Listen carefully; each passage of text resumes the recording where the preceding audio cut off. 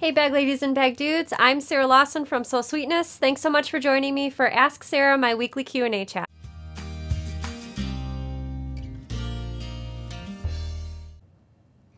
Hey, everybody. Happy Tuesday. Thank you so much for joining me for this episode of Ask Sarah. If you were watching this previous Sewcial Sunday show, I apologize if you made it to the end. I was sort of having a coughing fit at the end. Obviously, I'm, I'm totally fine. Danny, however, made me watch in slow motion the very end of the show, no, so I got not. to see. Yes, you did. so I got to see several times how my face slowly turned red. I started to choke, and so um, I learned my lesson. Danny and I both decided I should have keep some water, even if I'm not drinking anything during the show, just in case of emergencies. So I don't know if that's ever happened to you before, but sometimes I just get that little tickle in my throat and uh, especially if it's dry, which it is kind of right now in winter because we have the heat on. Um, but uh, that's just what happened, and thankfully it was at the end of the show and not sort of in the middle um, or in the middle of a demonstration. But um, it all worked okay. Um, we got I got my giveaway question out, and and the show was fine. So I was sitting on the couch with William after school while he was working on his homework. Um, I did take a shower right before the show, but when I was sitting on the couch with him, he said, "You know, mom." No offense, but you smell like a stable. And I was like, you know, obviously wearing my clothes from the stable. I was around horses and yeah, I did smell like a stable. And I said, thanks, William, you know, and it's okay. I'm not offended. But I took a shower right after that. Anyway, today I'm super excited because I have a special guest on the show tonight. Um, my friend Pat Sloan, who is, Pat is one of those people, and I'm sure many of you have this person in your life, but um, Pat knows everything about sewing and quilting. She's one of those people that seems to have dabbled in just about everything that's quilt related. Uh, she's a quilt pattern designer, author, designs fabric. She does it all. So um, I am super excited to introduce you to my friend Pat Sloan. Welcome to the show, Pat. Thank you so much for joining me tonight. Hi, hi. nice uh, to see you. Um, so I'm excited, and I know my viewers are because I saw them chatting beforehand on Facebook and YouTube. And I wanted to kick off the show by talking about, um, well, having you talk about one of my most favorite stories that I've ever heard you tell. And this is a story about your first quilt. So if you wouldn't mind sharing uh, that story as sort of an icebreaker, kind of a get to know you. Yeah, yeah everybody starts somewhere. I guess that's. Uh that's how it feels, right? Right, Sarah? You, uh, you, we don't start out making and knowing everything. And I learned to sew in high school. You know, I did uh, that sort of, you know, garment making, which basically I tell people I sewed clothing badly, like really badly. Was not any good at it. Uh, so you've heard, you've heard you heard me talk about my my first my first first quilt. Uh, so my um, my in our apartment, we decided that you know we got a new apartment. I thought I'm going to make a bedspread, and so I went to the fabric store and I told them I wanted to make a quilt because I seen Greg's grandmother's quilt, and so I had like this pattern, and I made this like the giant. No, I mean you came a giant star, uh, and um, it was horrible. you know, it was like yeah, I, I pictures of like you know you can see that the points you know worked and i didn't know anything i was doing so then i uh, they told me how to put batting in it and i didn't know what i didn't know how to quilt so i didn't know what batting was. So they handed me this big roll of white stuff and and i thought well i remember greg's grandmother did yarn. You know have you seen the quilts tied with yarn? Oh right so yeah. I, I yeah so i thought well i will just do like my mom did because i don't know what that is but so i tied it about every four feet like huge, huge space. And of course, we washed it, and then later on, the dog, um, like, there's like this big blue spot on it now. And okay, we're gonna people, put the yeah, we're gonna put the photo on the screen right now. Yeah. So Pat can explain it.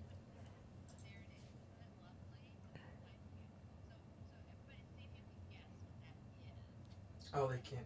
Blue thing. Uh, that blue thing. Did anybody guess? Or did anybody try to guess? It's uh so so it's it's not um it's not duct tape.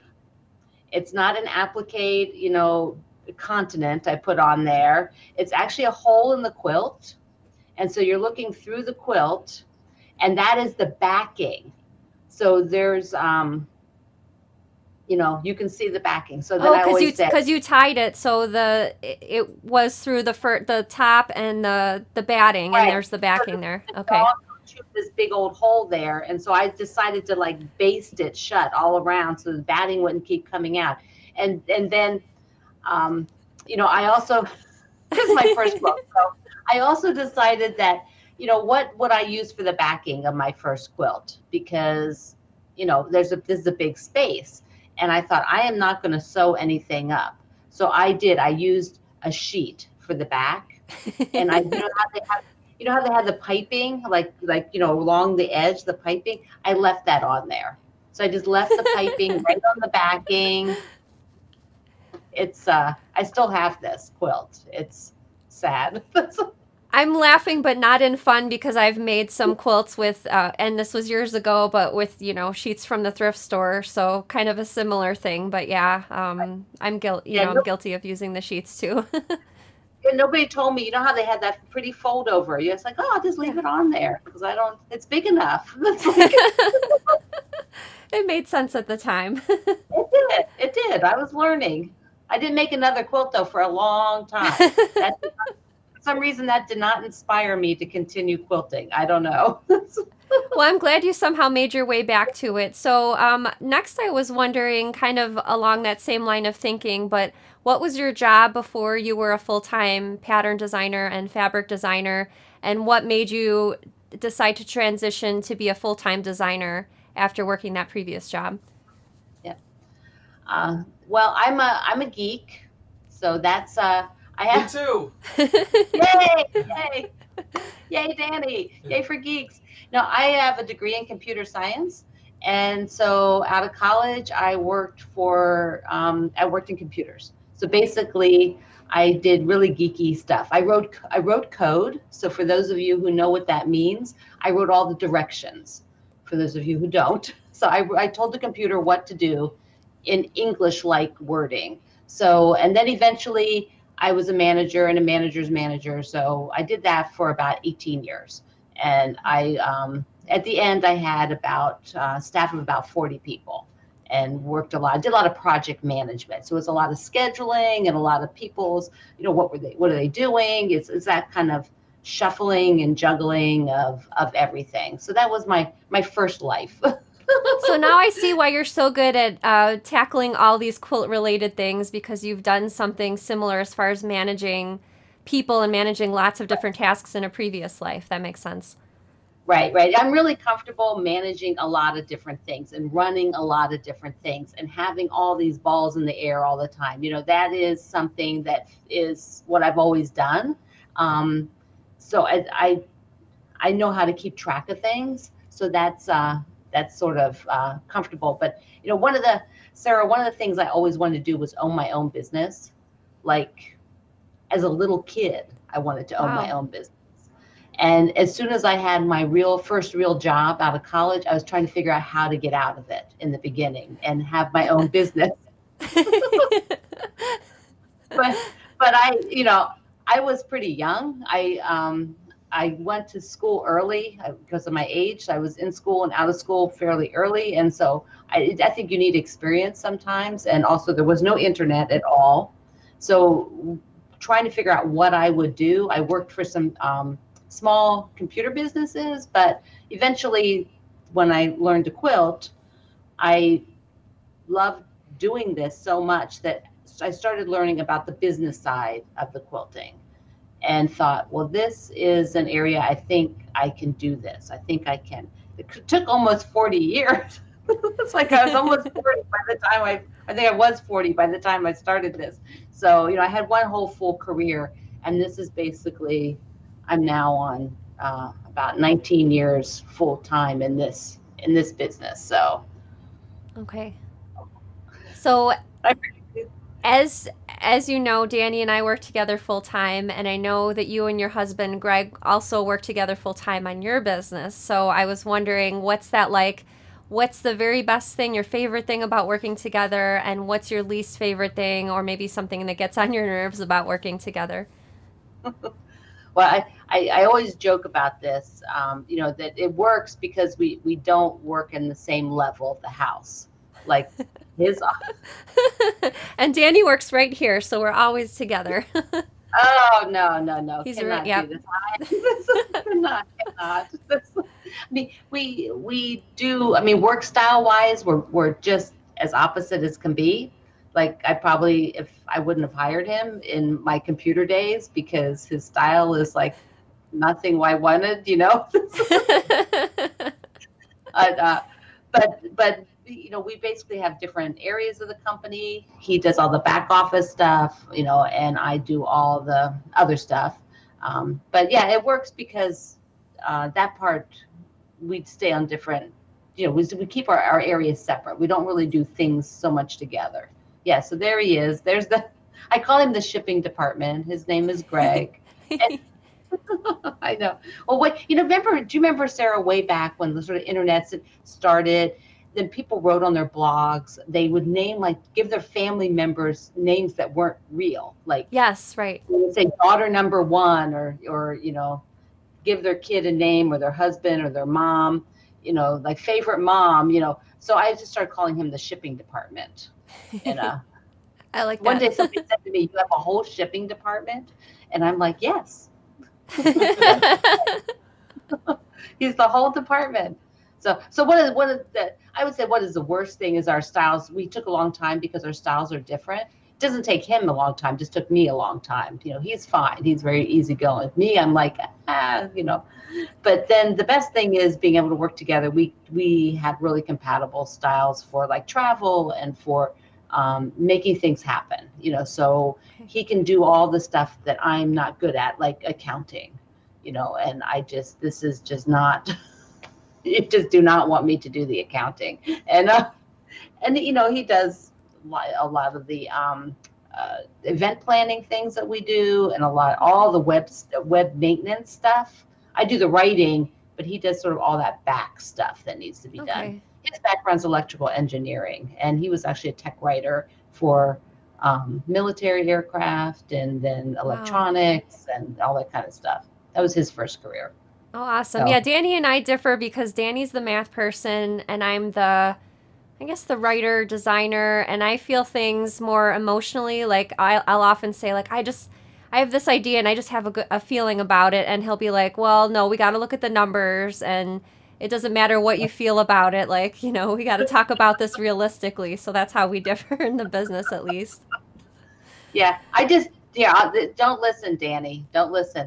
What I just, I just do it and then tell him it's done. You know, like, I've already done this. This is what I'm doing. It's too like, late well, now. yeah, too late now. Yeah.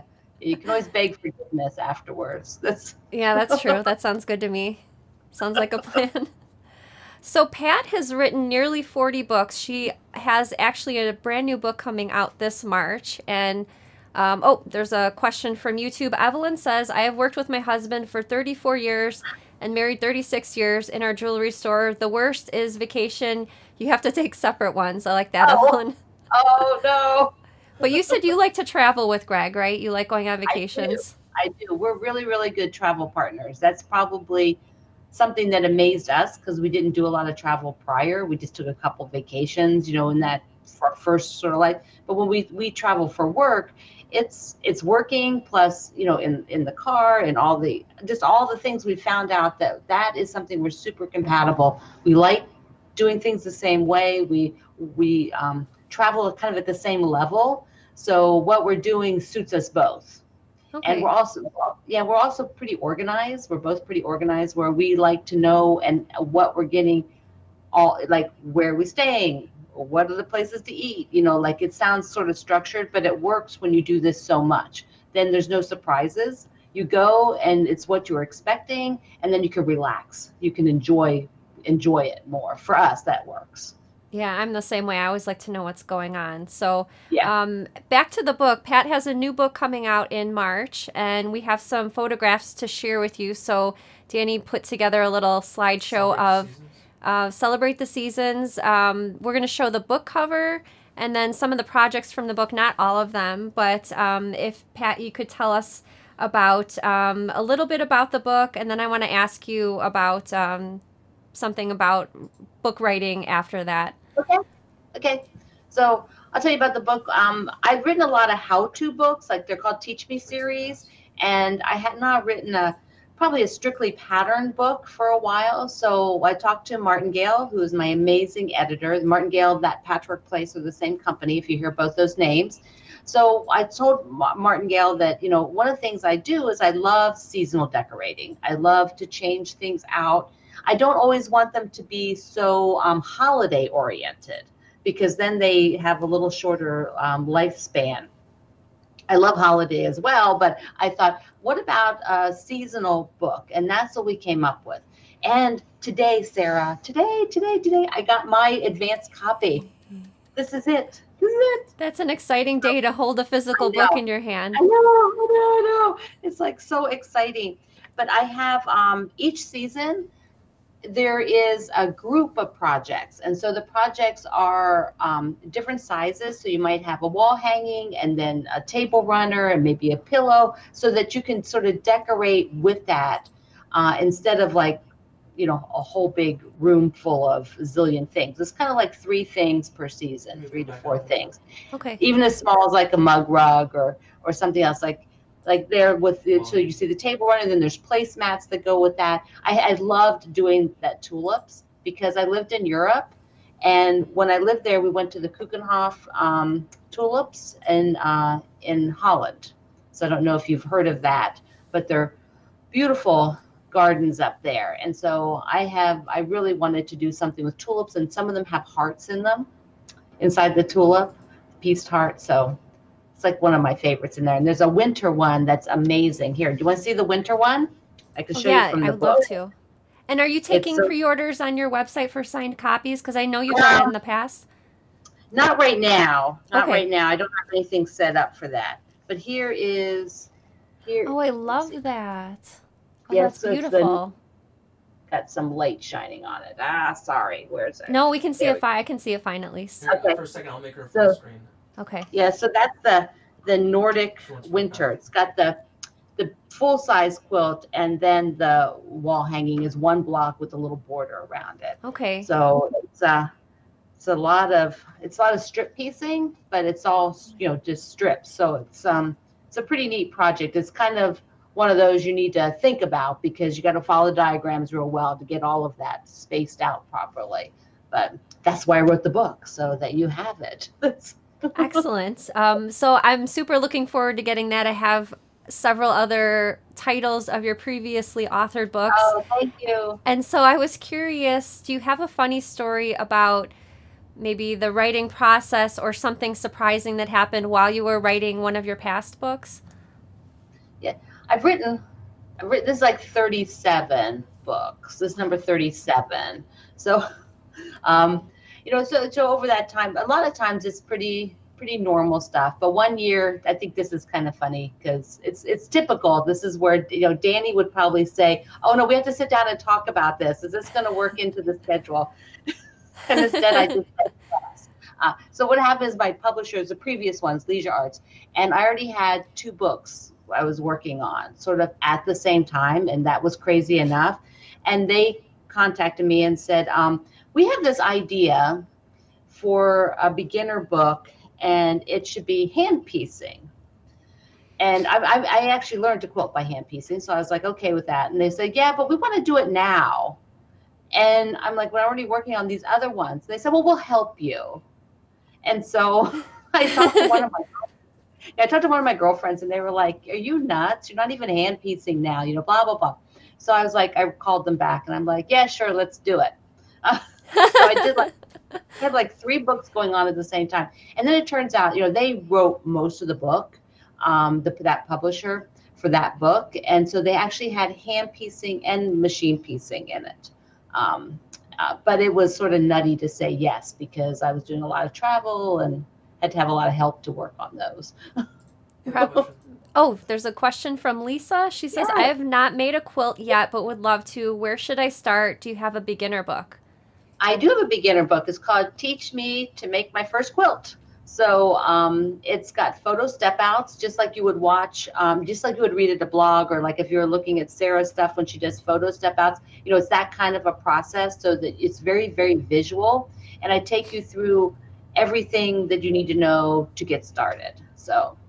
Okay, I actually so. have that book and it's excellent. So yeah, that's a oh. great first place to start. Definitely.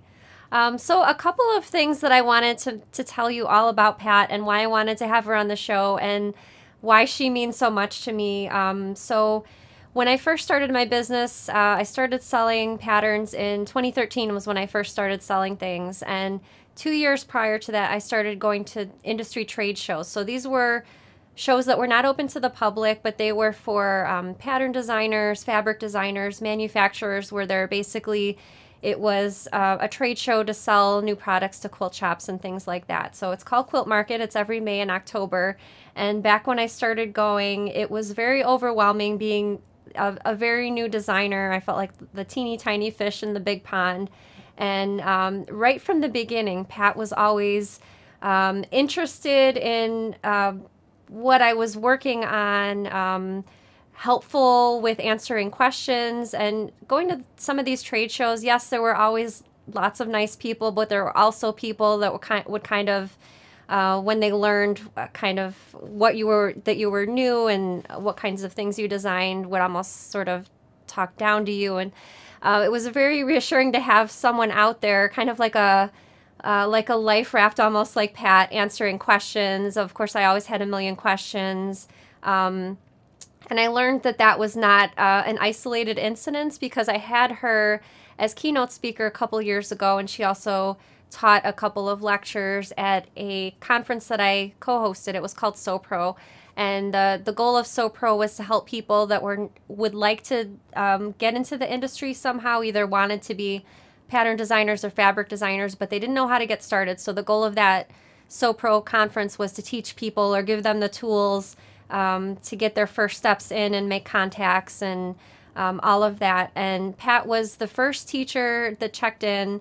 Uh, she stayed at the check in table when the attendees were checking in, talking to people, asking them questions, uh, what they were working on, what their goals were, that kind of thing. And I'd never seen anything like that before. Someone who was so involved, because uh, clearly, at, at, at having written almost 40 books, Pat could have just got, you know, stayed up in her hotel room, taken a hot bath, watched a movie, but she was like down there in it with all of us. And I thought that was really cool. So I just wanted to tell you that.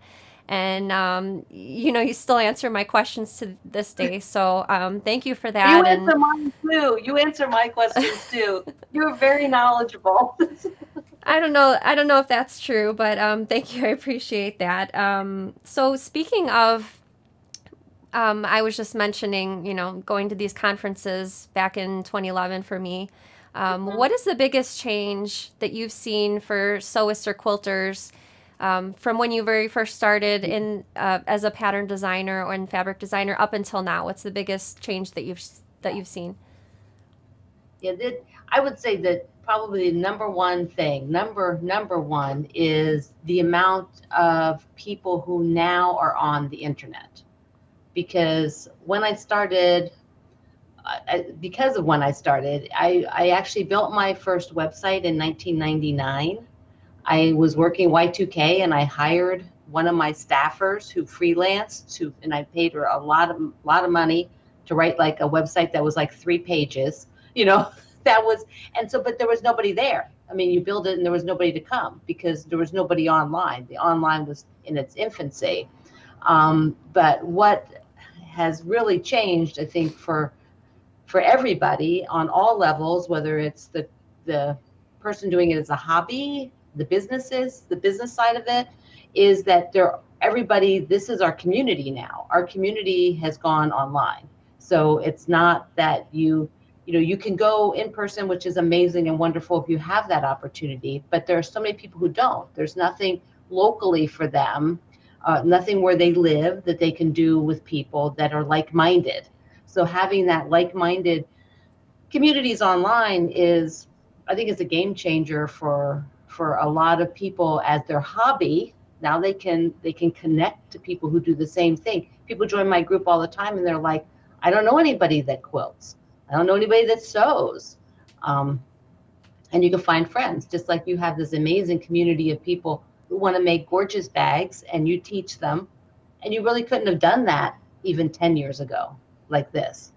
Yeah, you wouldn't have had even a fraction of the people online to teach or Right. show them anything. So That's totally true. Yeah, we sure com- appreciate the the bag ladies and bag dudes watching. By the way, go ahead and type that in the comments for us right now if you're watching. Um, because we always, I love glancing over and seeing all the bag lady and bag dude comments come through. And I also wanted to let you know, um, if you are looking for a quilt making community similar to the Sew Sweetness community, in that you can have a lot of uh, positive feedback and um, share photos and ask questions.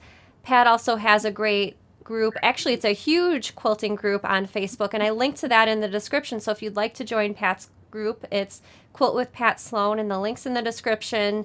I think you'll have a great time there, and um, I know Pat enjoys interacting with her group like I do with mine.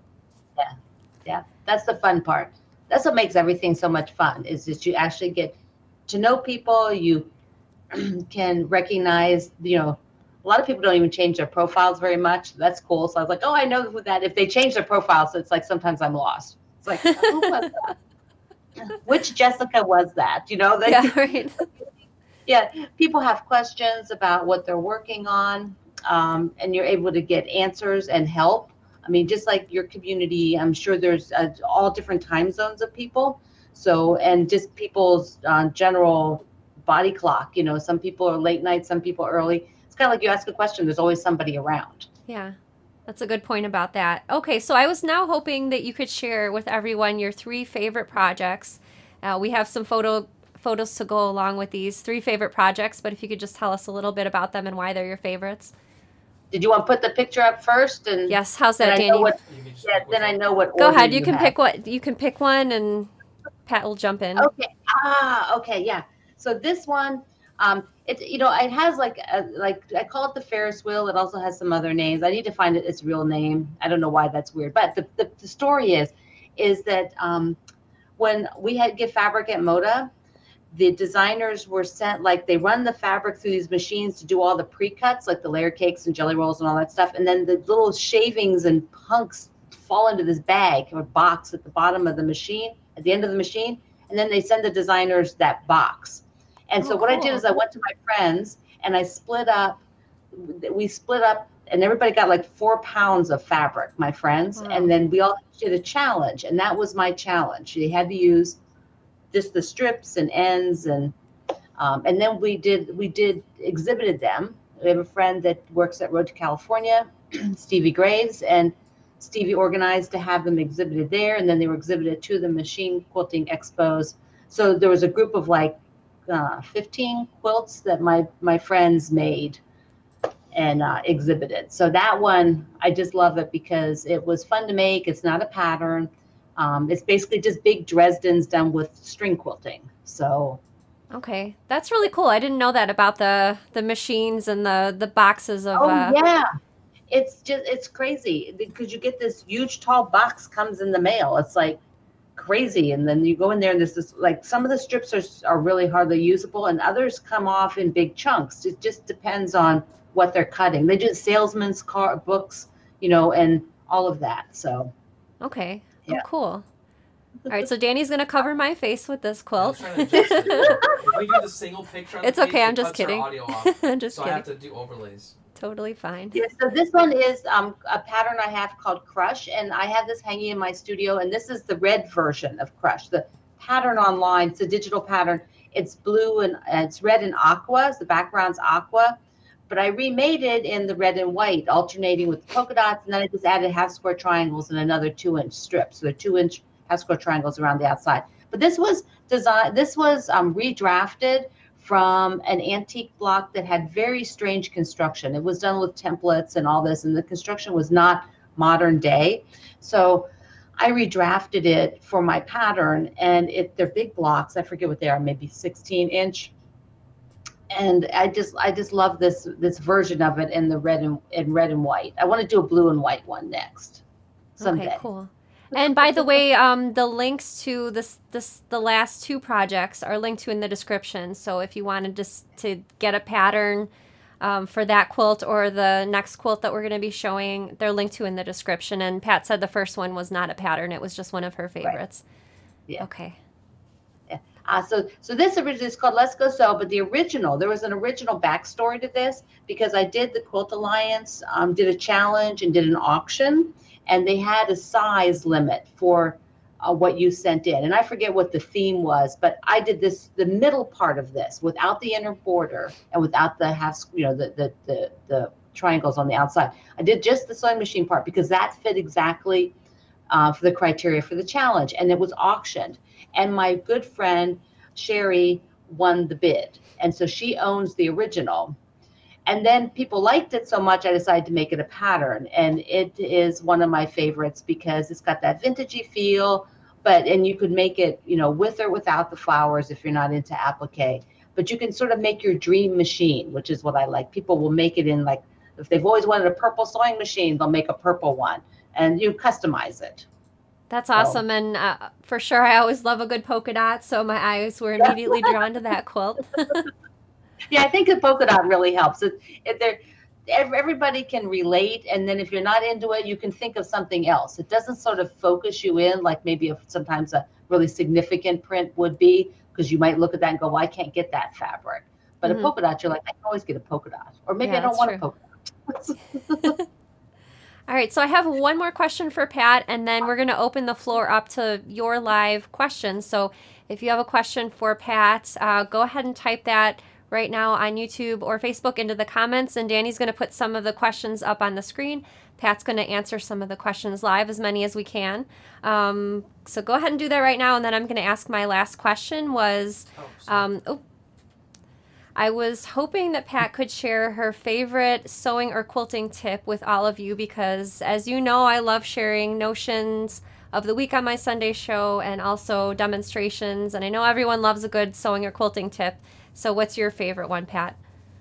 Well, I have. Um, I thought I'd just show you two tools. I mean, I just sort of hold them up. I have to grab the other one. Hold on, one little sec. Yeah, no problem. I didn't get it over here in time because this is a fairly this is a fairly new tool. Um, and what I did is I showed this the other day on something I was doing, but it's a it's a seam. There, it's the Standard seam seam guide, four in one tool. Yeah, Okay. it's from Sew Emma, Okay. and it Sew does a whole lot of things. Like um, the Fat Quarter Shop is the publisher of Sew Emma, and they have a video that shows you how to do all this. But it has a whole bunch of holes. See, can you see them? Okay. Yeah, so yeah, I see. you can do all of your the sort of if you want to set your needle position, you Okay. can put it just right into those holes. Um, you could actually trim with a half square, you know, triangle if you want. Okay. Uh, but nice. I love this plus sign. And the plus sign is taking you a quarter inch in from the outer, each outer edge, and your binding. When you're doing your binding or anything you need to turn, you need a quarter inch and mark it. Then you can just put that right at the corner and then take a pen through the hole in the middle and make, I use like a Sharpie, make a little dot. Then you can remove the That's ruler super clever.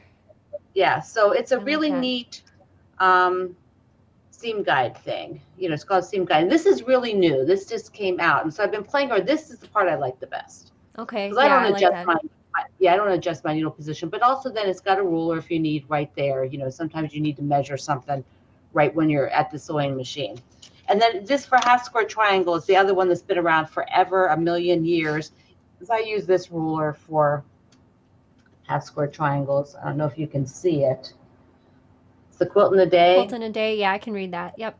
yeah. And what it has is like if you have a half square triangle folded, then you can do like trim to two and a half or trim to three and a half, or you can flip it if you're doing two, two, three, four. And so you basically trim two sides, you trim up like this, and then you press it open and it's the right size. So you don't have to, you know, so you're, you're trimming it when it's still folded before you press the half square triangle. Oh, I see. That sounds a lot easier. Interesting. Yeah, and it's been around a very long time. Um, but I, I like this one a lot. Those are those are kind of two. I'm not a massive tool person, but these uh, I thought this they were good. They're good, and I use them. They're ones that I use. Okay, excellent. Thank you, Pat. All right, so Danny was a little overeager to get to the questions, so let's post them on the screen. Barbara says, Do you do the quilting on your quilt tops? Hi, Barbara. Uh, I do some of my quilt tops and then I send some away. And basically, it has to do with timing.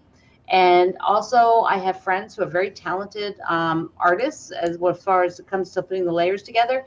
And sometimes what they can do will add greatly to my finished quilt. And so I'd rather have them do it. But a lot of times now it's time. Um, Okay. Gloria says, uh, Hi, Pat. Do you also do art quilts or landscape quilts?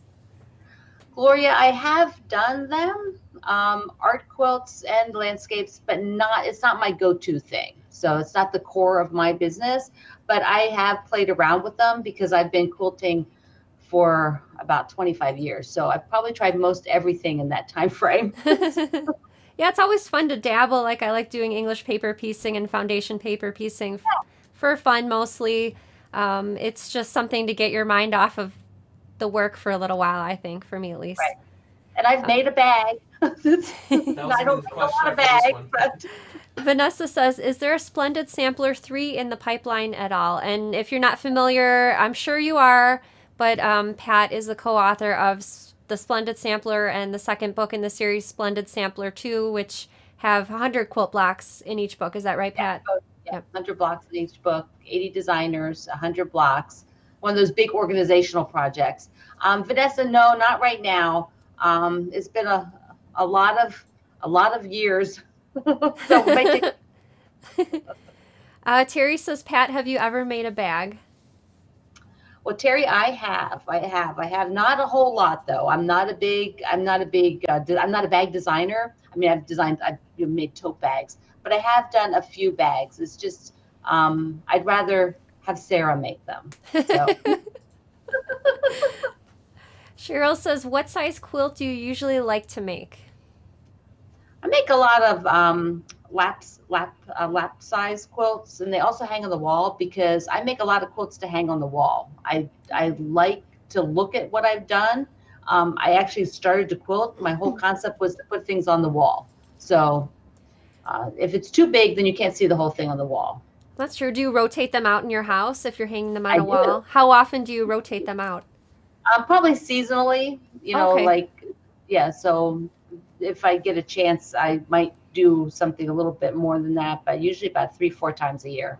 Okay, that sounds fair. Barbara says, Pat, you showed the Gemini. Did you like it?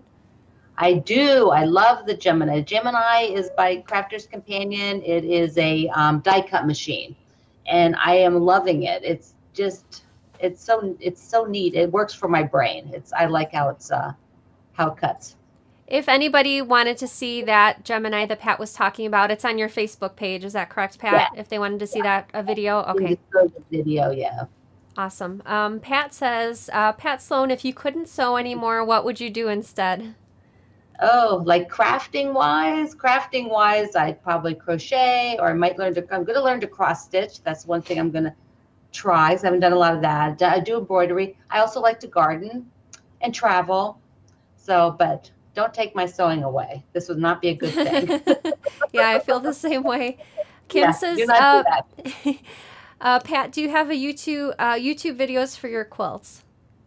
I have a YouTube channel, yep, and um, it's called Pat Sloan. Just look for Pat Sloan on YouTube. I've had YouTube out there for, I don't know, 15 years or so, long time.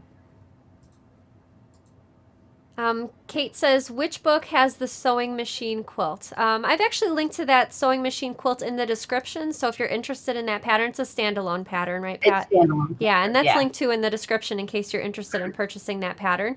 And Lisa says, what is your favorite sewing machine to use?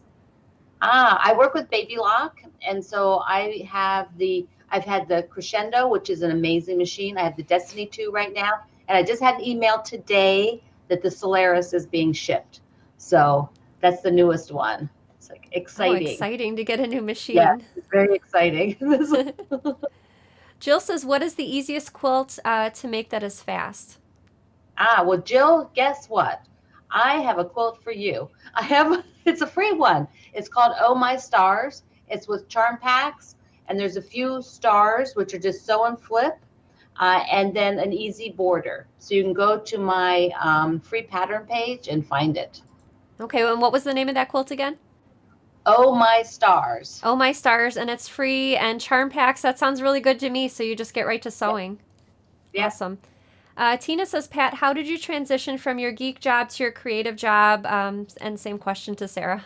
I'll let you go first, Pat. Well, I started uh, dabbling in teaching. Like I worked my day job, my you know my full time job, and then I started teaching in quilt shops, and uh, to see if I liked it. I didn't work in quilt shops. I wasn't like a retailer part. I was teaching, and then I made store models. One of the shops asked me to make store models, and then I decided to try pattern writing. So I did pattern writing, and then I still had my day job and I went to the trade show that Sarah talked about earlier, and I had a booth, and I still had a full time job.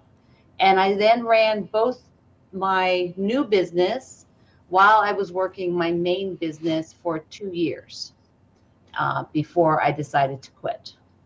So, okay. Yeah, mine was kind of similar, but on a less impressive level. So I worked at pet stores for 14 years.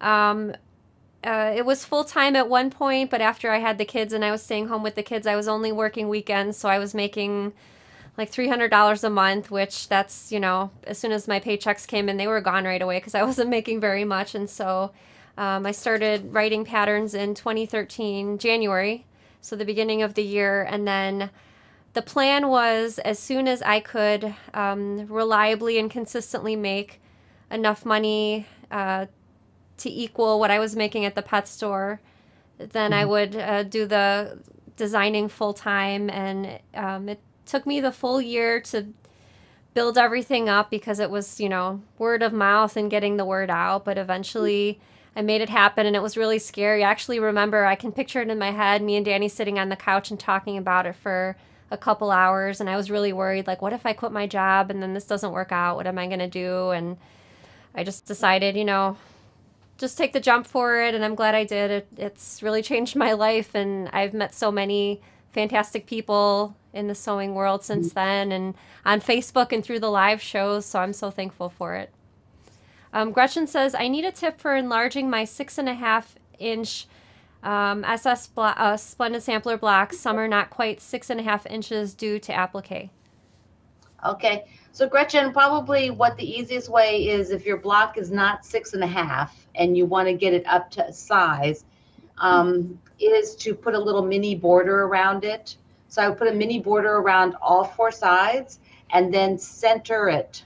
And when you know, make it a little bigger. You know, put the a little bit bigger mini border. Then take a ruler and center the six and a half. Get it real perfect, and then trim around. So I would also then press your seams towards the block because otherwise if your seams are out when you're trying you're, you're probably not making very much of an inner border you might only have like a quarter of an inch or, or less so you want to press those seams in from the mini border so they're not stuck into where you're sewing it to the next blocks oh good tip uh, laura says what batting do you prefer to use in your quilts yeah batting batting batting uh, there's there's lots of battings and i've used lots of battings um, I've used a lot of Mountain Mist, which is a really um, traditional batting that's a batting company that's been around forever and ever and ever. And I love Mountain Mist. I also love uh, the Happy Cloud batting. I think it's a really, really nice batting. Those are probably the two that I use the most.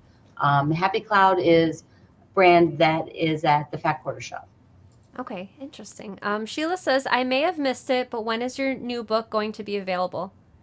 March, March, March, March. So not that long, pretty soon.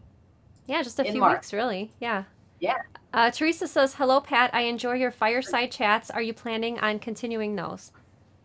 Yep, I just did one the other day, Teresa. I, I don't do them as like Sarah does and Danny with their consistent time frames. It just doesn't happen for me. I consistently do a radio show on Mondays on my podcast, but the fireside chats I do usually once a week or once every week and a half. So I just did one on Sunday, I think. And where can people find the fireside chats if they're interested, On if they've not? Facebook? Okay, Pat's Facebook page. Also my, YouTube also. And So Pat also briefly mentioned just a second ago her podcast, and it's called um, American Patchwork and Quilting Radio, correct, Pat?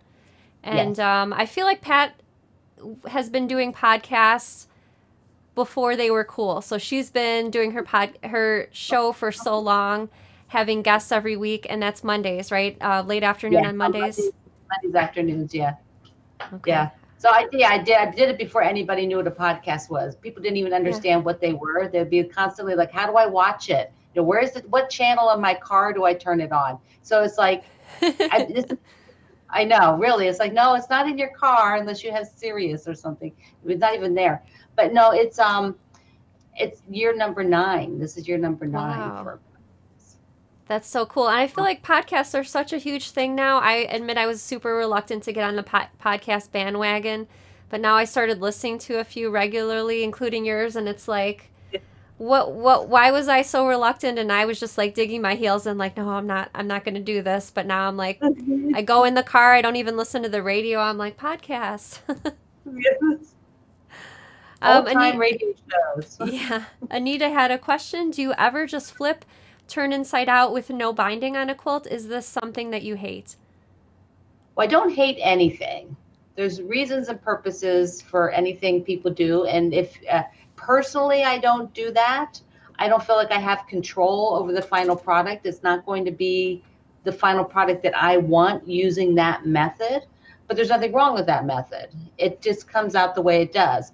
Um, I want to have the quilting done, and I want and and if you so flip and sew like that, you're you can't do the same level of quilting unless you're going to really work to keep it flat. And then there's like a like a whole seems like a whole other extra level of work to get the outcome i personally would want. But to sew and flip and then maybe you're going to tie it or you maybe you're just going to stitch in the ditch something easy. You just have to be really careful you've got it flat or you're going to get um, puckers and creases and things like that because it may not be quite as flat Okay, that makes sense. Um, Pat says, "Is the Sloan bag named after you?" It is. yes it is. have The you made it pam did you make it the secret's out. It is the Sloan travel bag, and we'll have a video for that bag uh, later this year. So excited for Ah. that. Had a lot of requests for that one. Doreen says, "Pat, how do you hang your quilts?" Oh, that's a good question. For the bigger quilts that I have spaces that are always hanging a quilt, I use a curtain rod. So I just get regular regular curtain rod, something that looks kind of nice, and hang that. And then if I'm doing like little projects that I'm just sticking up and taking down because I sort of maneuver things around a lot, I this is bad. Don't tell anybody. I'll tell you the secret, but don't shh, don't tell anybody. I just use I use straight pins. Like these things here. Like can you see these over here? They're straight pins. I just stick them in there. So Okay. then I'll move, then I'll change them. You know, it's just not worth it for me to do. I mean, some people use command strips and all that stuff. I'm like, yeah, straight pins. For your uh, curtain rods, do you use little clips, or do you have a sleeve, or how do you? Sleeve. I do Sleeve. a sleeve. Okay. Yeah, yeah. I like them to hang really straight around the, along the top. So like the clips are they're gonna dip like a Right. like a curtain. They're Yes. not made like a curtain. They're too firm. So I, I always use a rod pocket. Okay, very interesting.